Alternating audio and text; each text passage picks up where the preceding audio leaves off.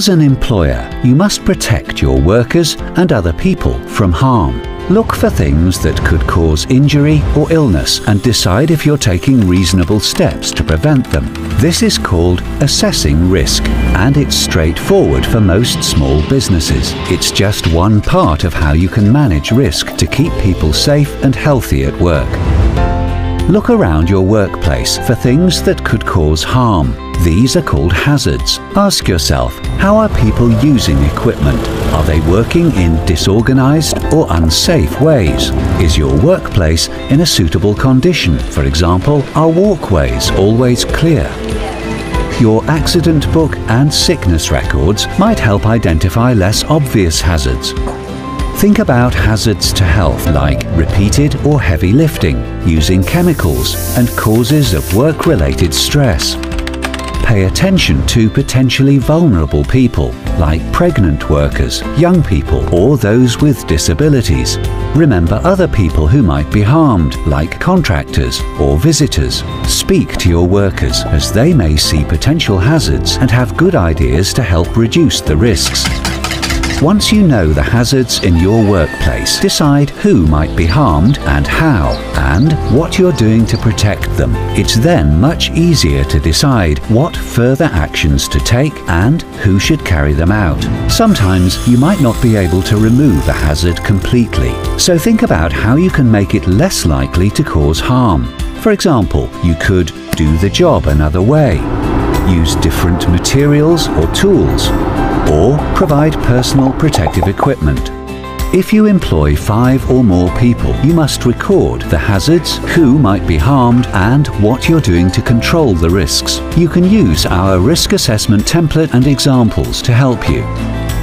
Review what you're doing to control risk whenever there are significant changes, like new staff or equipment.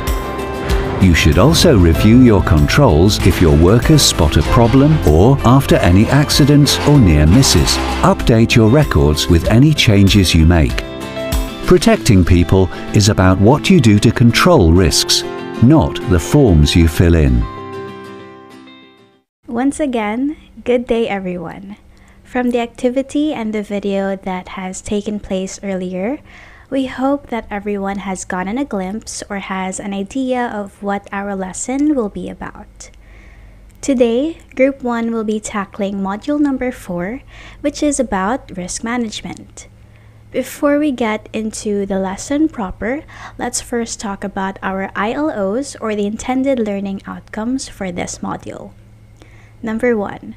Understand the approach to risk management through risk identification, risk measurement, and risk management or mitigation. Number two is to calculate risk costs. Number three is to identify the risk management processes. Number four, learn about the categories or different categories of the risk. Number five is to learn risk register, its parts, as well as how to create it. And lastly, number six is to learn reasons as to why risk management may fail. Since we have discussed the ILOs for this module, let us now proceed to the lesson proper. Let's talk about what is a risk. As seen on the screen, a risk is an uncertain event that may occur in the future. A risk is also known to be a factor that may prevent or delay the achievement of an organization's objectives.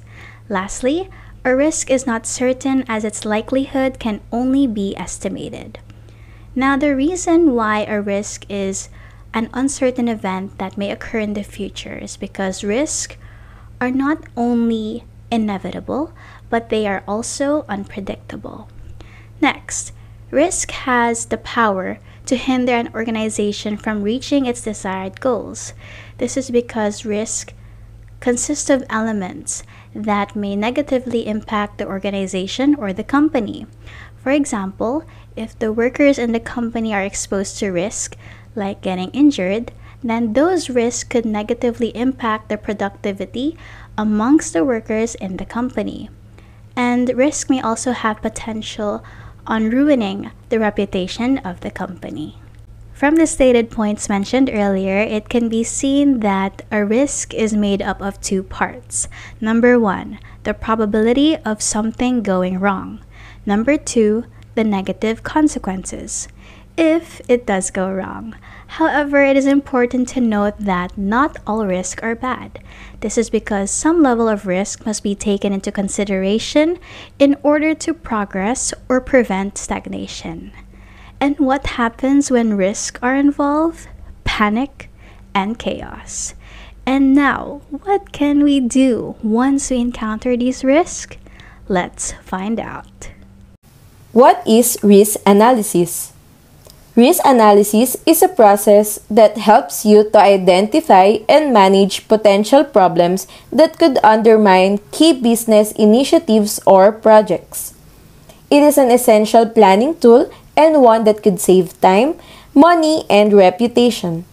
This approach can be implemented in many situations, such as planning projects, as well as preparing for events such as natural disasters, theft, improving safety, managing risk in the workplace, and other more. How to use risk analysis. To carry out the risk analysis process, the following steps could be done. First is to identify threats, and second is to estimate the risk. First step, identify threats. The first step in risk analysis is to identify the existing and possible threats that you might face. This step can be carried out by the use of the following. First, create a list of risks to see if any of these threats are relevant. Second, think of systems, processes, or structures that can be used to analyze the risk. Third and lastly, consult with other people to gather different insights and perspectives. Additional information. To help uncover threats, the following tools can be used. First, strengths, weaknesses, opportunities, and threats, or SWOT analysis, failure mode and effects analysis, political, military, economic, social, information, infrastructure, physical environment and time, or PME, SIIPT, and political, economic, social, and technological, or commonly known as pest analysis. To further explain what Girly has mentioned, the following slides are the tools that we can use to uncover the threats within the organization. So the first tool that I will be discussing is the SWOT analysis, in which you are all familiar since we used it on our project feasibility study last semester. SWOT analysis stands for Strengths, weaknesses, opportunities, and threats. It is a technique for assessing these four aspects of one's business in order to increase awareness of the factors that go into making a business decision or establishing a business strategy. To do this, SWOT analyzes the internal and external environment and the factors that can impact the viability of a decision. Moreover, SWOT can also uncover areas of the business that are holding you back or that your competitors could exploit if you don't protect yourself. For the next slide, the video that will be presented will show us how to effectively use a SWOT analysis.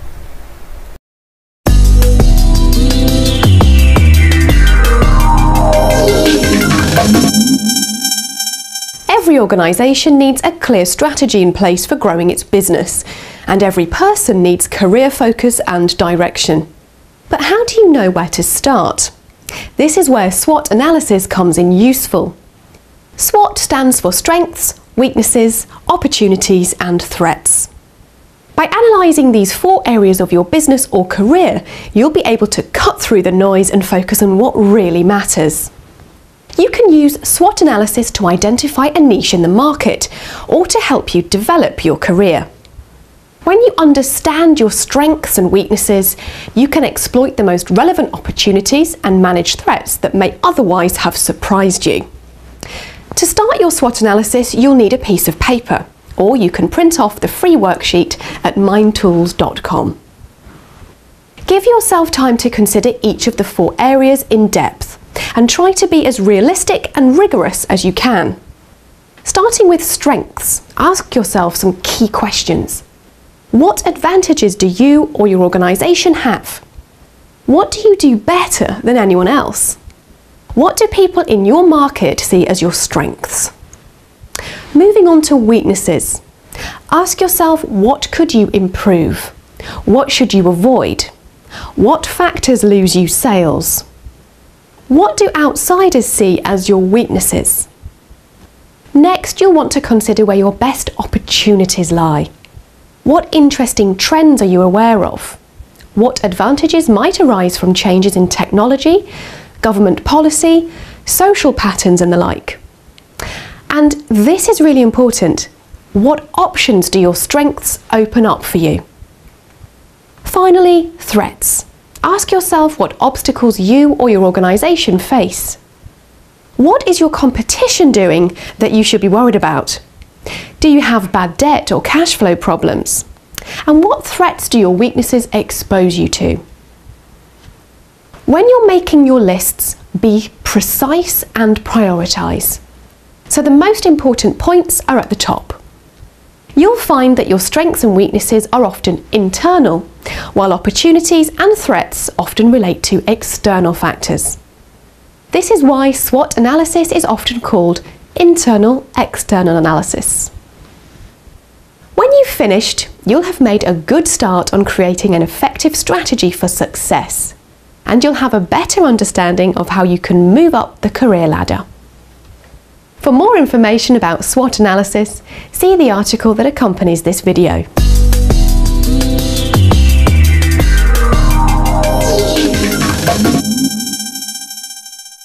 Moving on is the failure mode and effects analysis.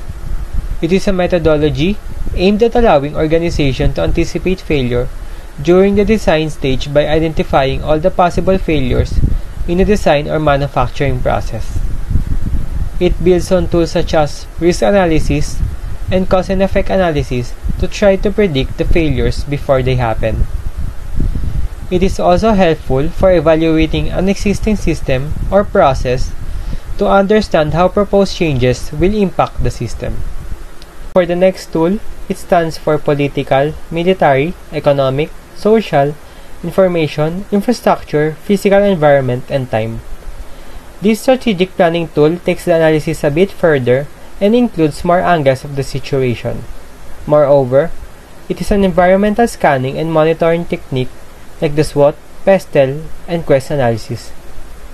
In addition, it was developed by the United States Army and used as a way to execute a more complex strategy in foreign countries with a complex and uncertain context to map. Another tool that we can use is the PEST analysis.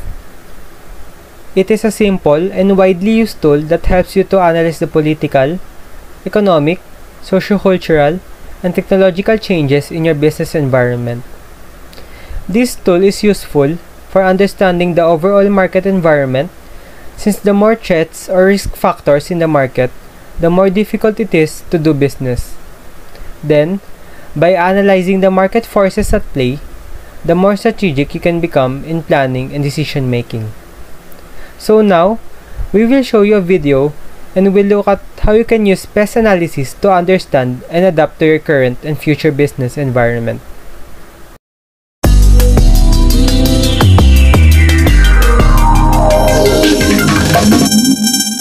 Welcome to MindTools video learning series. All organizations need to understand and adapt to the environments they operate in. These might include factors outside of your control, such as laws, lifestyle changes, and technological trends. But when you're able to anticipate how these factors might impact your business in the future, you'll find it easier to identify and seize new opportunities and avoid potential threats. So, how can you analyze your business environment effectively? A powerful tool for doing this is pest analysis. This is a simple four point framework you can use to assess the political, economic, socio-cultural, and technological factors at play. Your analysis can help you to understand the forces of change at play in your environment and guide your strategic decision making. Start by considering the political factors that affect your business. For example, are any elections due to be held, and how are they likely to play out? Will legislation or taxation laws change? And how could this affect your organization? Then do the same for economic factors. How stable is the economy? Is it growing or shrinking? What is the unemployment rate? How is inflation impacting your industry? And are these factors likely to change much?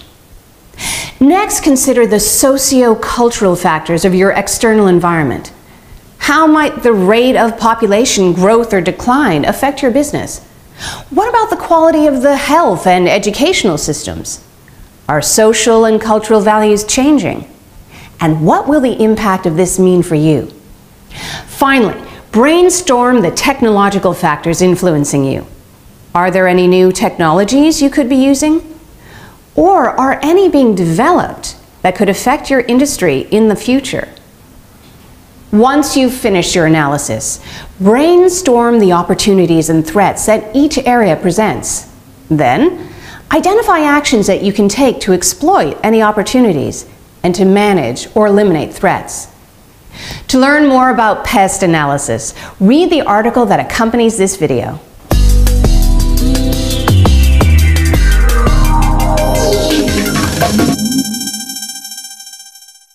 Scenario analysis is a risk assessment tool used to identify and quantify the occurrence of operational risk scenarios.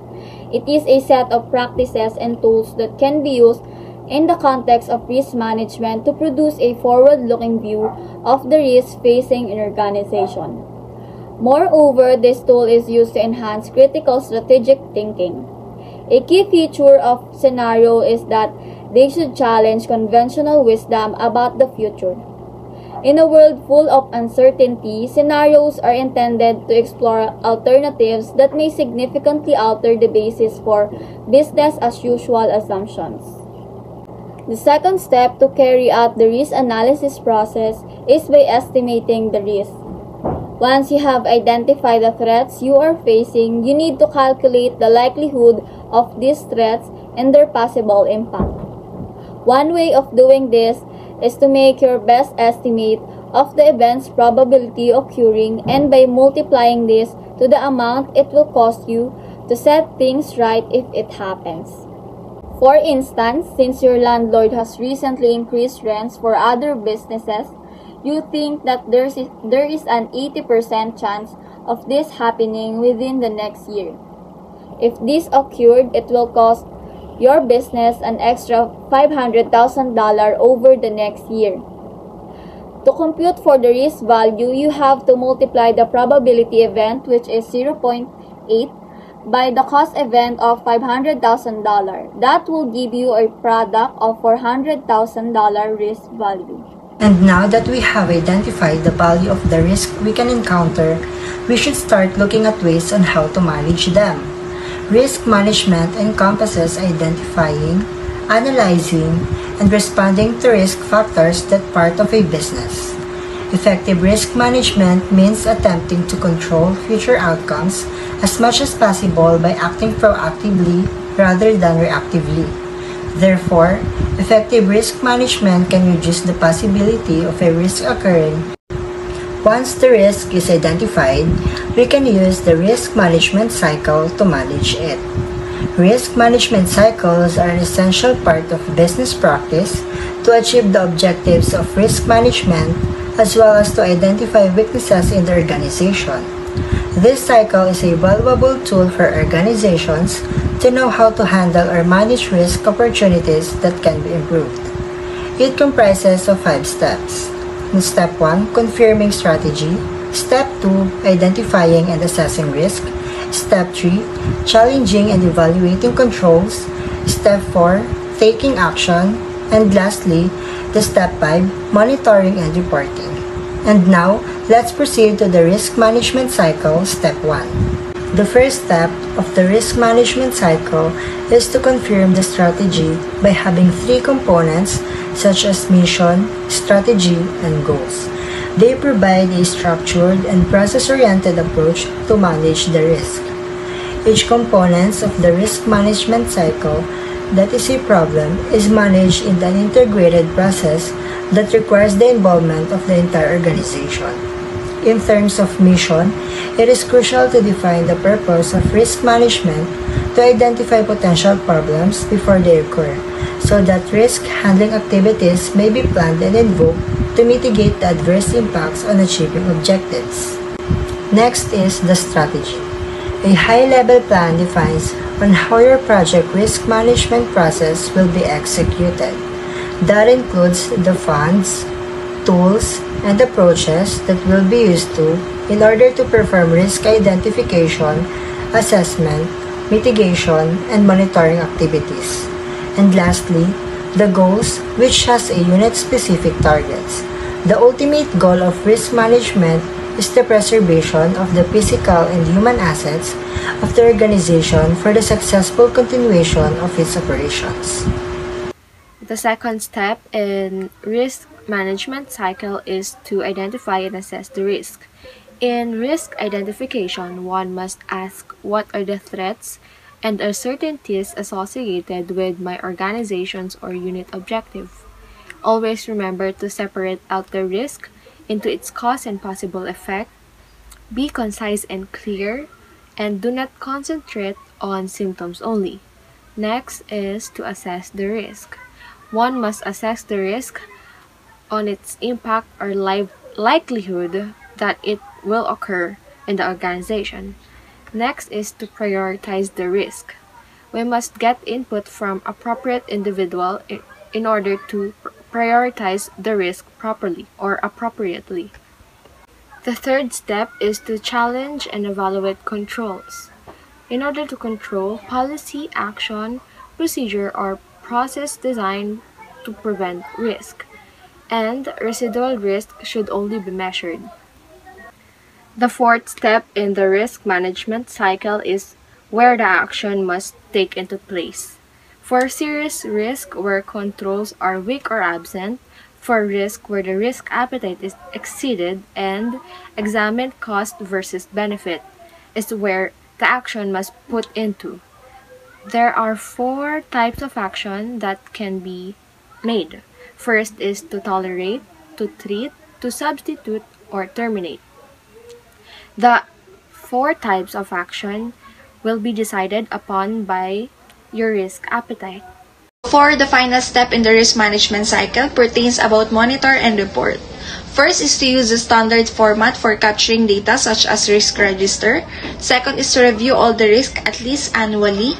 Third is to review all the serious risks more often depending on the situation. Fourth is to report risk to the senior management or board.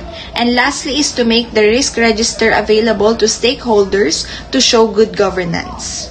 Furthermore, aside from using the management cycle as a means of managing risk, the other structure that can be used are the following. Avoid the risk, share the risk, accept the risk, and control the risk. In avoiding the risk, it means it doesn't get involved in a business venture, passing on a project, or skipping a high-risk activity. It is a good option when taking the risk involves no advantage to your company or when the cost of addressing the effects is not worthwhile. The what-if analysis can be used to explore your options when making a decision as well as to avoid the risk. The what if analysis is a specific type of scenario analysis wherein you can ask a series of what if questions to predict potential complications and the impact on the company operations.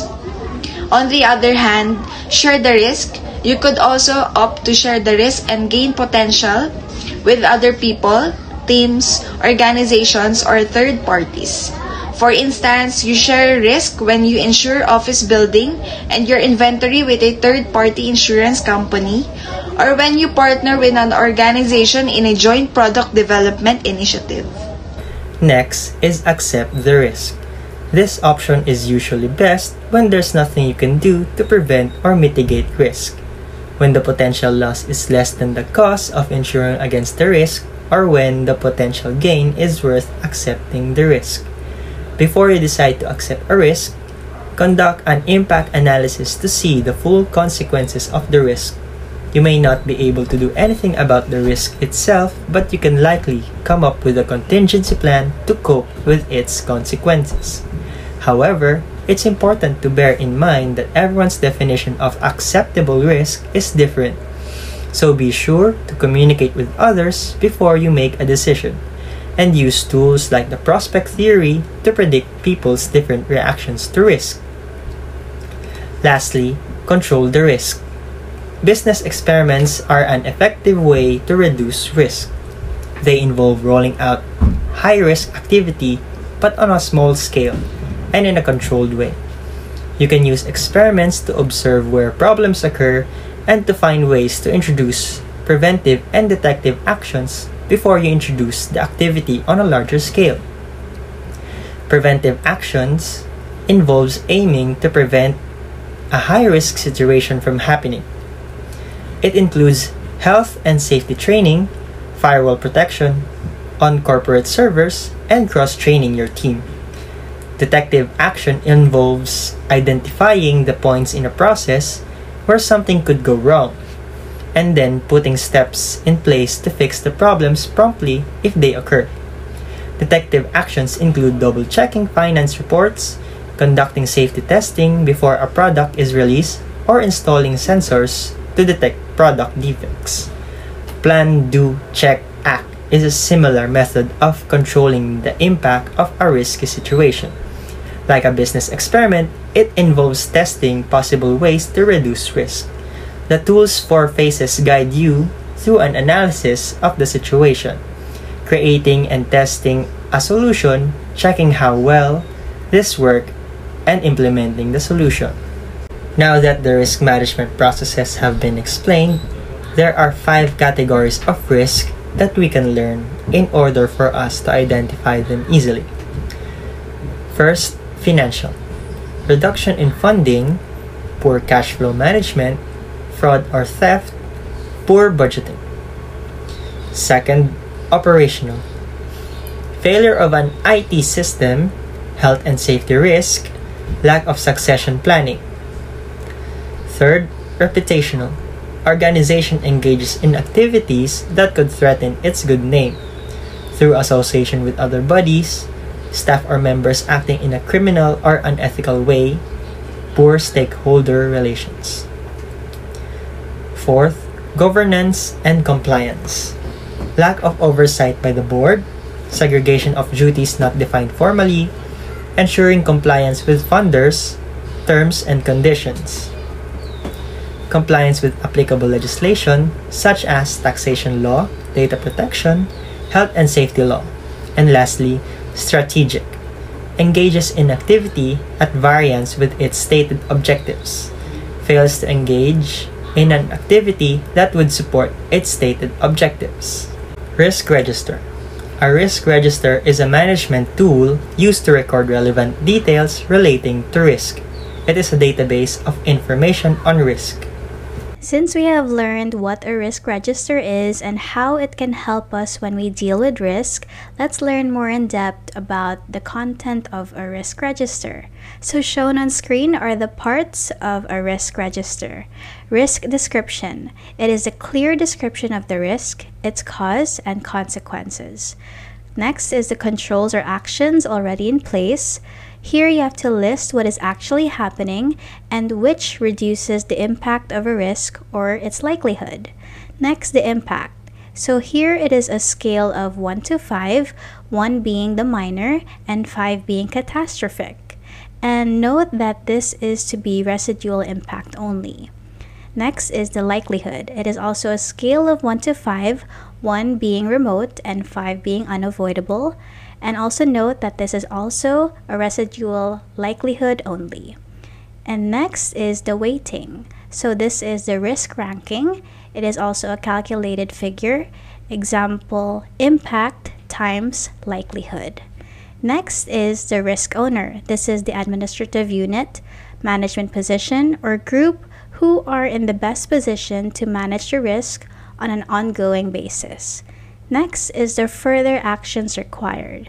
So these are the controls or solutions which have yet to be acted upon, which could reduce the impact or likelihood of a risk. And lastly, the date. This is the expected date as to when the actions shown under further actions required will be in place and effectively addressing the risk. Here is an example of what a risk register looks like.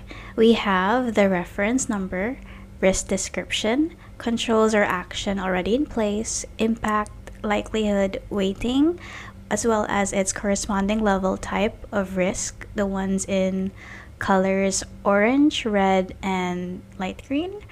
And next is the risk owner, further actions required, and lastly, the date when further actions will be in place.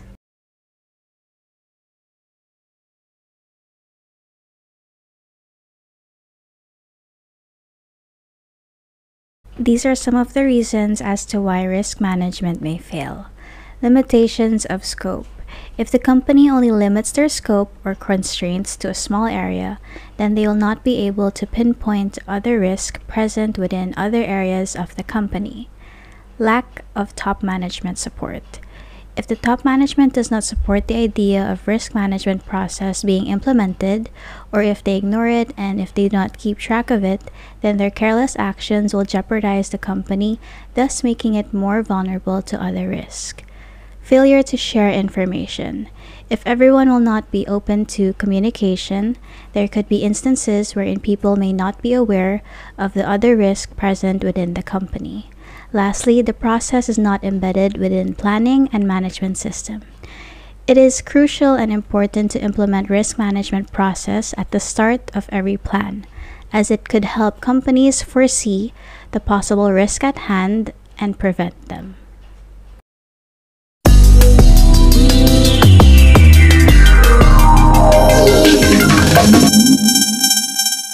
Almost every decision we make in business involves a risk of some kind.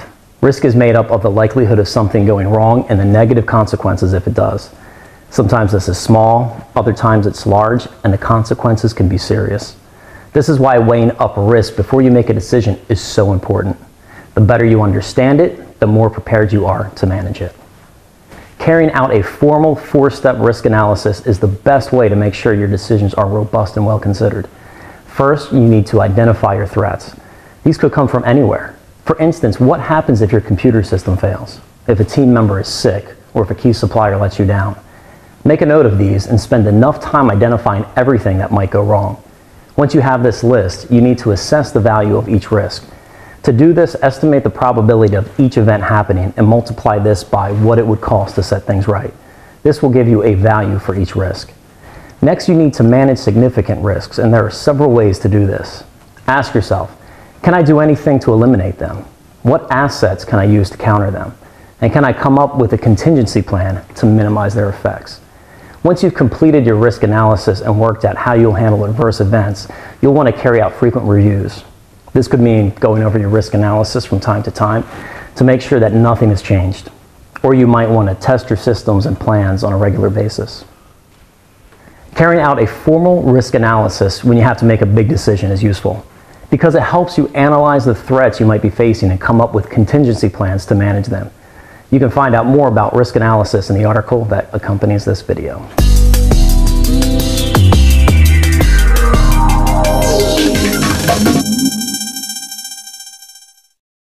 Again, we are Group 1. Thank you for listening, stay safe, and have a great day ahead.